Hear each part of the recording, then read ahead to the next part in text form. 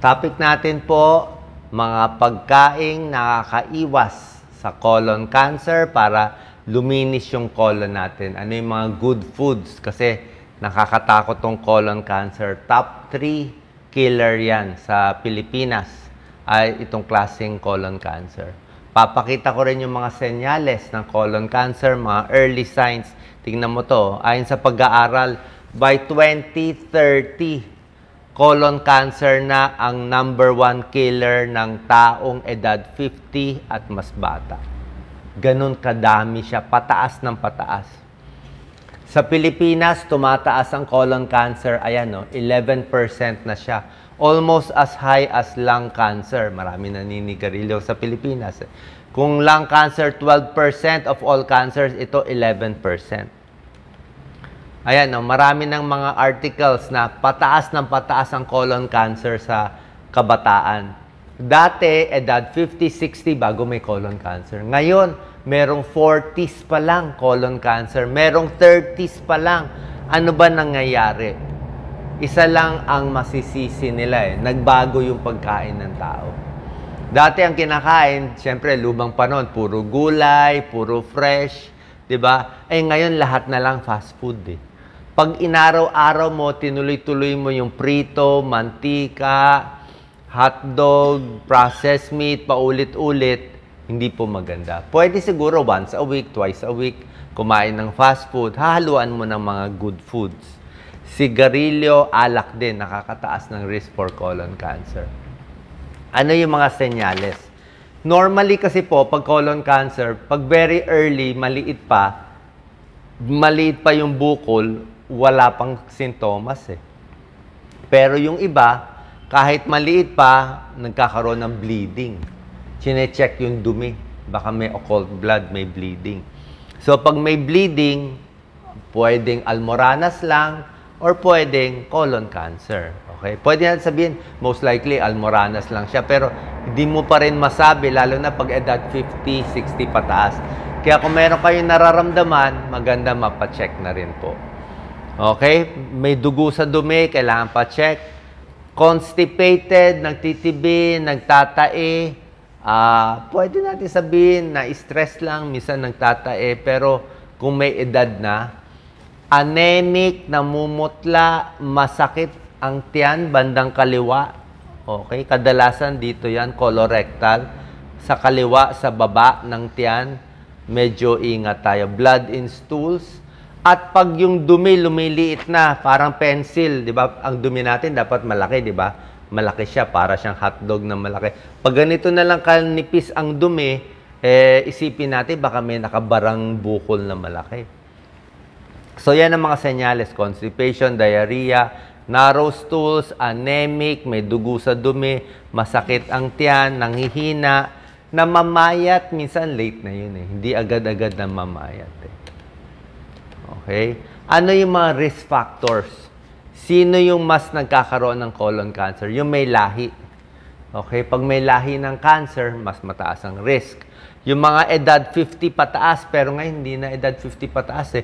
40 pataas eh. Uh, pabata kasi ng pabata.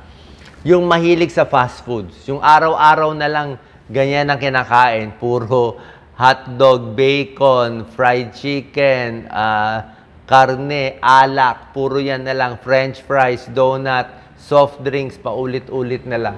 Pag puro yan, mababa kasi siya sa fiber. Itong mga fast foods, wala siya nitong mga fiber, itong mga walis-walis. I-compare mo itong mga hotdog, fried chicken at karne. Compare mo sa kangkong. Kangkong spinach. Di ba yung kangkong, ang daming fiber siya? Kailangan mo itong maraming fiber na parang sinulid, na parang walis. Para pag marami itong fiber, imagine mo, kumain ka ng dalawang platong kangkong, ang daming fiber na yan. Tuloy-tuloy yan, nililinis niya yung bituka mo eh. Para siyang walis eh. So pag dumumi ka, ang dami mo fiber kinain, kumain ka ng maraming gulay, ang ganda ng pagdumi mo.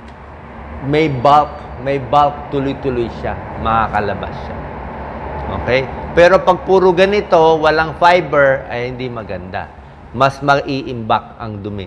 Tsaka ayaw natin constipated. Pag constipated ka, limang araw, hindi, hindi ka pa dumudumi. So yung dumi, naka-stuck lang sa large intestine. Hindi natin masabi, syempre, dumi yun.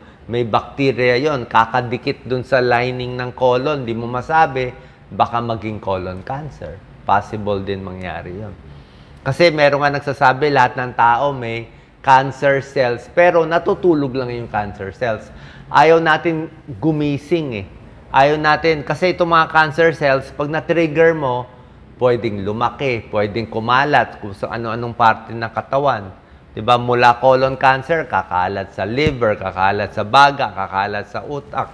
So, ayaw natin ma-trigger. Ito mga bad foods nakaka-trigger. Ano pa nakaka-trigger? Sigarilyo. Sigarilyo pwede rin ma-trigger yung cancer cells. Ang daming cancer connected to smoking. Ito, mga unhealthy foods. Kasi preserved foods, may mga nitrites to. Sunog na pagkain, nakaka-trigger din. Air pollution, possible din yan. Ito, alak. Overweight, hindi rin maganda. Kulang sa exercise. Pag kulang ka kasi sa exercise, mas mabagal din ang pagdumi mo. Eh. Pero pag nag-exercise ka, kita mo, talon-talon, mamaya gagalaw din yung bituka, madudumi ka na rin. So gusto mo everyday sana nakakadumi. Smoking, kulang sa gulay, kulang sa physical activity risk factor. Ito yung colon natin. Maraming colon cancer dito sa babae. Colorectal cancer. Ayan. Nag-uumpisa siya as polyp. Polyp muna. Kaya maganda nga tong colonoscopy for age 50 above. Pag nakita may, to test to ginagawa ng doktor. Pag nakita may polyp, tinatanggal na agad. Kasi itong mga polyp, parang siyang maliit na laman, pwede siya maging colon cancer in the future. So, inuunahan mo siya. Ito. Ang maganda lang sa colon cancer, pag nakita siya ng maaga, let's say nanonood kayo sa video natin, duda kayo, parang mahina pakiramdam ko, parang laging puno yung tiyan ko, masakit dito sa kaliwa, wala namang masama, pa-check tayo sa doktor. Lalo na kung edad 50, 60 na kayo, pa-check po sa doktor. Number 3 cause of cancer dito. Uh, uh, si dating President Cory Aquino, colon cancer. Ang daming may colon cancer. Sobra dami. Libo-libo. So, pag colon cancer, napacheck nyo maaga. Stage 1, stage 2, yan o, pag maliit pa, stage 1, stage 2, stage 3, stage 4, kasi kumalat na yan eh. Sa ito, pwede na kumalat yan. Sa lymph nodes eh. Kung maaga, maagapan, o operahan agad to ng surgeon, puputulin yung malaking bituka, i-connect ulit. Pag matanggal natin yung cancer ng maaga, 100% cured, healed. Hahaba ang buhay, parang normal. Kasi nga, nagkakalat siya ng cancer, nandito pa lang yung sunog, yung problema, pinatay mo na yung apoy eh. So, maghihintay ka na lang kung may tutubo pa sa ibang parts. Pero pag na-late tayo, kasi nga walang pera, walang libre, sa check-up, lalo na itong mga laboratory test na mamahalin, pag walang libre, umabot sa stage 3, stage 4 ang kababayan natin, kahit madala mo sa ospital, eh, hindi na rin ma magagamot pero mahirap na. May opera, may chemotherapy, lalo na kung kumalat na sa atay, paano mo naman tatanggalin yung atay? Kumalat sa baga, paano mo tatanggalin yung baga? Kumalat sa utak, hindi mo na matatanggal yun. Diba? Kaya mas maaga, mas importante. Kaya yung senyales very important. Paano iiwas sa colon cancer? Doc Lisa, pakita natin konti. Number one, exercise. Kasi nga, sinabi ko nga, more exercise, mas maganda pag dumi. Number two, wag overweight. Pag overweight, kung ano-ano kinakain, mas maganda nga gutom eh.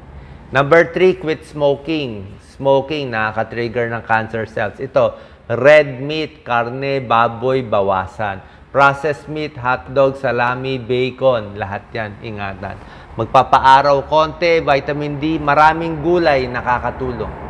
Maraming gulay. O, pakita natin yung mga good foods. Ito yung mga medical studies. Ito, ito meron mga evidence eh. Ano yung mga bagay nagpapataas ng risk of colon cancer? Ito processed meat talaga eh. Yung mga hotdog, salami. Hindi porke kumain ka nun, magkaka-cancer agad. Tumataas lang yung risk. Gano'ng karami? Actually, mm, doon sa pag-aaral, parang Meron ako nakita mga pag three times a week eh, parang ganun eh. So kung talaga mahilig yung mga bata, di bata pa naman, malayo pa sa cancer. Pero mas maganda, wag sanayin. O, ako naka, kumakain din ako ng hotdog minsan pag malayo. Pero siguro, tinatry ko once a week lang o birang-bihira lang. Processed meat, nakakataas kung marami. Okay? Alcoholic drinks, karne, red meat, pag sobra dami. Pag puro yun na lang ang kinakain, pati mga fast foods. 'Di ba? Physical activity nakakabawas ng risk o decreases risk. Proven siya. May, may medical studies. Gulay, lahat ng gulay nakakababa. Prutas nakakababa. Whole grain, mga wheat bread nakakababa. So, more healthy foods. Kahit anong lettuce, kangkong, spinach, okra, celery, broccoli, cauliflower, repolyo, carrots, lahat yan. Garlic, onion, lahat yan, very healthy po yan. Kailangan nga, uh, ilang tasa ba everyday? Dapat makakatatlong tasang gulay kayo everyday. Gaganda pag dumi, makakaiwas pa sa colon cancer. Hindi lang colon cancer, lahat ng cancer mababawasan ng pagkain ng gulay. Prutas, okay din. Apple, banana, strawberry, orange, pears, pwede rin. So, ito yung mga pagkaing iiwasan. Nakita nyo na? Ito, soft drinks, sunog na pagkain. Ingat tayo sa barbecue na sunog.